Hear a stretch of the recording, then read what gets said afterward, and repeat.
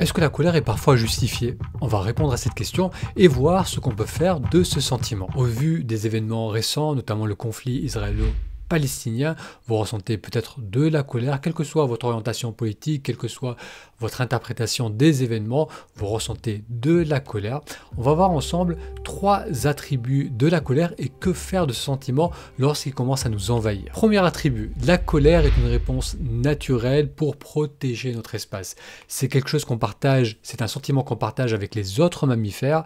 Lorsque un mammifère se sent en danger, lorsque quelqu'un pénètre dans son espace personnel, il va ressentir cette émotion et cette émotion va l'amener à bomber le torse, montrer les montrer son agressivité pour faire comprendre à l'envahisseur qu'il n'est pas le bienvenu, pour faire comprendre qu'il ne peut pas rentrer dans cet espace. Aujourd'hui, ce sentiment, on le ressent aussi, même lorsqu'on n'est pas face à un danger physique.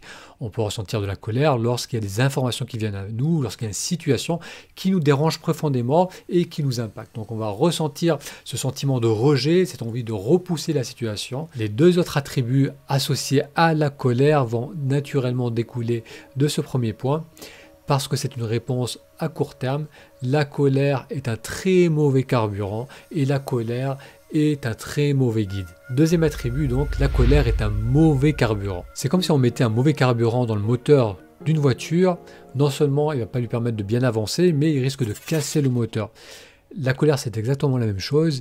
C'est un carburant qui ne nous fait pas avancer. Donc très souvent c'est de la rumination, on fait rien, on n'agit pas nécessairement par rapport à la situation, mais on ressent cette énergie en soi. Et ça abîme notre organisme. Euh, vous avez peut-être déjà entendu l'expression la colère, c'est comme avaler un poison en espérant empoisonner l'autre. Donc la colère c'est un très mauvais carburant, ça nous fait du mal et très souvent ça ne nous fait pas avancer. Le troisième attribut, c'est que la colère est un mauvais guide. C'est une réponse à court terme. C'est pour faire face à un danger immédiat, à une invasion, et ça ne se préoccupe pas du futur. La colère n'a aucune idée de ce qui va arriver plus tard, ne se préoccupe pas du tout de ce qui peut se passer, et on a tous fait l'expérience d'agir à cause de la colère et ensuite de regretter nos actes.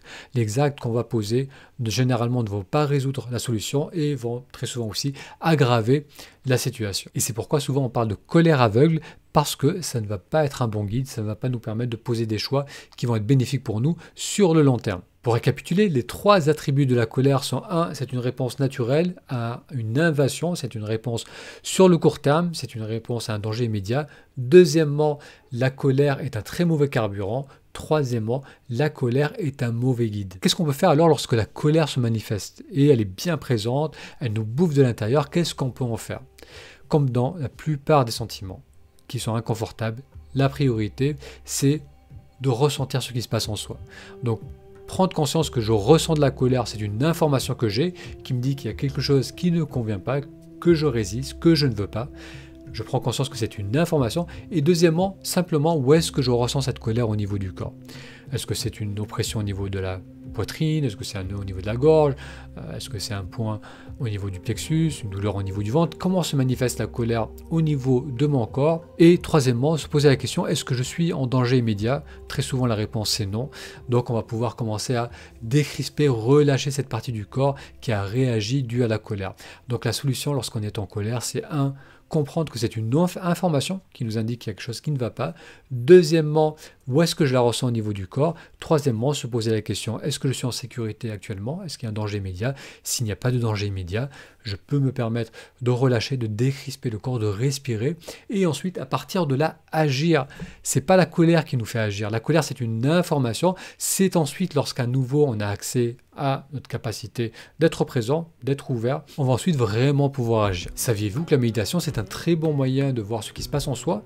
De voir les manifestations des différentes émotions, notamment celle de la colère, et ensuite de décrisper, de relâcher petit à petit les tensions qui sont associées avec différents sentiments. Si vous souhaitez explorer cette pratique, je vous invite à me retrouver mercredi soir à 21h heure française pour qu'on fasse ensemble une séance de méditation. Pour vous inscrire, il vous suffit d'aller sur le lien ta-méditation.com. Prenez bien soin de vous et de vos proches. À très bientôt.